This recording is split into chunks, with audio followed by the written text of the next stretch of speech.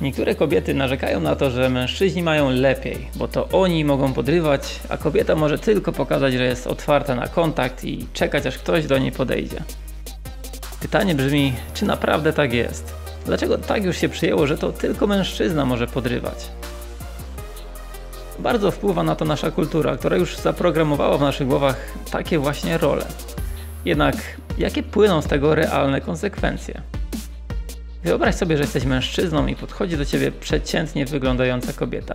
Czy fakt, że do ciebie podeszła i widzisz, że jest tobą zainteresowana, zmniejsza jej szanse na to, że umówicie się na randkę? Rozważmy kilka opcji. Opcja pierwsza. Kobieta podobała się mężczyźnie i on sam i tak chciał do niej podejść. Czy przez to, że kobieta podeszła pierwsza, będzie miała teraz mniejsze szanse? Właściwie minimalnie tak. Podejście i rozpoczęcie rozmowy to zawsze okazanie zainteresowania, a im więcej go okażesz, tym mniejszym wyzwaniem jesteś. A to zwłaszcza na początku znajomości ma ogromny wpływ na Twoją atrakcyjność. Jednak podejście i rozpoczęcie rozmowy to przykład dobrego okazania zainteresowania, czyli takiego, które nie zakrawa w żaden sposób o desperację i jest konieczne, żeby rozwinąć znajomość. Jednak gdyby to mężczyzna do niej podszedł, to ta kobieta prawdopodobnie byłaby postrzegana przez niego jako odrobinę bardziej atrakcyjna. Więc w tym przypadku faktycznie minimalnie lepsze dla kobiety byłoby czekanie, ale i tak ma bardzo duże szanse na to, że wyjdzie z tego jakaś randka.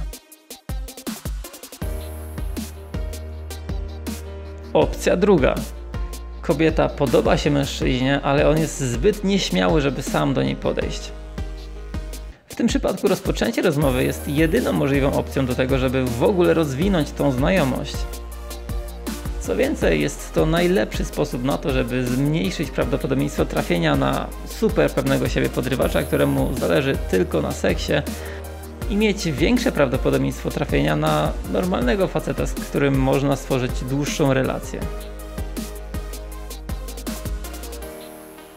Opcja trzecia. Kobieta nie podoba się mężczyźnie i on sam nie miał zamiaru do niej podchodzić. Oczywiście to, czy się spodobasz danemu facetowi, czy nie, na początku zależy przede wszystkim od tego, jak wyglądasz. Więc jeśli Twoja aparycja nie powala na kolana każdego przystojniaka, a przynajmniej nie na tyle, żeby sam mógł do Ciebie podejść, to sama rozpoczynając rozmowę będziesz mogła zaprezentować się także pod innymi względami i pokazać swój charakter, styl życia i umiejętności komunikacyjne, co również w bardzo poważny sposób zwiększy Twoje szanse na rozwinięcie tej znajomości. Ok, a jakie mogą być tego wady? Czy fakt rozpoczęcia rozmowy dyskwalifikuje kobietę w oczach mężczyzny?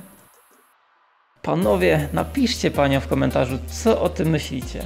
Ja też zostawię tam swój komentarz. Oczywiście jest jeszcze jeden powód, dla którego kobiety nie podchodzą. Prawdopodobnie znacznie poważniejszy niż tylko te konwencje kulturowe.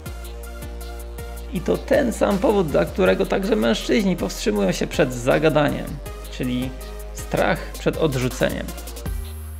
Kobietom jest po prostu wygodniej powiedzieć sobie, przecież to facet powinien podrywać, ja mogę siedzieć, ja nic nie muszę robić.